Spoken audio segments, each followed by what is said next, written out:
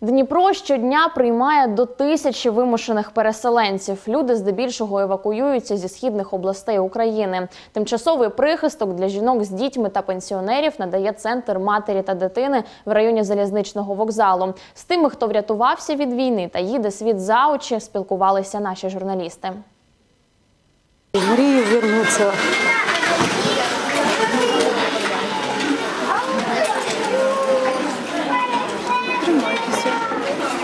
Та родних, за баба, додому, та Україну. Я молюсь за рідних, щоб вони були там, щоб ми перемогли. Вони вернулися. Кожен в свій дім. Неважливо, який він буде. Цілий чи не цілий. Поки ми спілкувалися з Оленою, проснувся її синочок. Донька ж безтурботно гралася з новими друзями. Жінка з двома дітьми приїхала із села Велика Новосілка Донецької області. Другий день мешкає у Дніпровському центрі матері та дитини і паралельно шукає тут постійне житло. Хорошо приняли, поселили, покормили, не выгоняют, пока, ну, живите, пока что-то найдете. Нам нравится, все устраивает. Спасибо большое всем.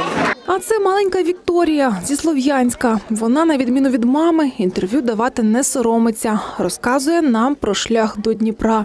Мы очень плохо приехали. Я скучала по папе. Мы, мы ехали, ехали до папы там. До всему. Страшно.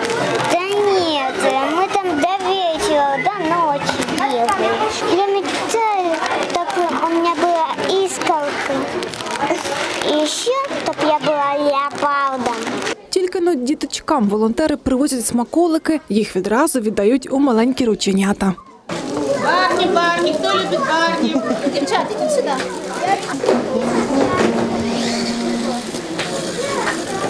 Солодощі тут завжди в попиті. А ще дитяче весняне взуття. Харчування привозять волонтери, однак бракує одноразового посуду. Дозвілля в дітей також розплановане. Розважають аніматори або ж влаштовують майстер-класи прямо в ігровій. Сьогодні з дітками виготовляють ляльки-мотанки. Мотанка це все була українська е, лялька, тому ми хочемо хоч частиночку любові, тепла передати дітям. Тому ми для цього робимо все. За останні чотири дні людей побільшало, розповідають у центрі. Зараз наплив мешканців Луганської та Донецьких областей, де ворог концентрує свої війська. У центрі матері та дитини приймають її пенсіонерів. Ніні Григорівні 90 років. Вона виїхала із Сєвєродонецька. Из 10 часов до полвторого стреляли. Стекла, ни у кого стекол нету. Все стекла побиты внизу на, на асфальте. Все. Да вообще новый район полностью разбитый. Такие дома все высотные.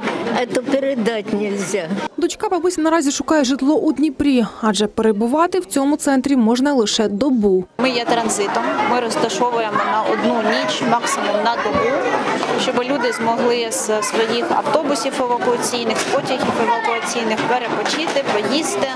А Кому треба там діткам підгузки змінити. Так само у нас є велика кількість дорослих, які евакуюються, які також потребують цієї цих засобів гігієни. Як вдячність за притулок у Дніпрі лишають на стіні центру свої малюнки. На них залишають побажання миру і слава Україні. Анна Гребенчук, Максим Мещеряков, Open News, телеканал відкритий.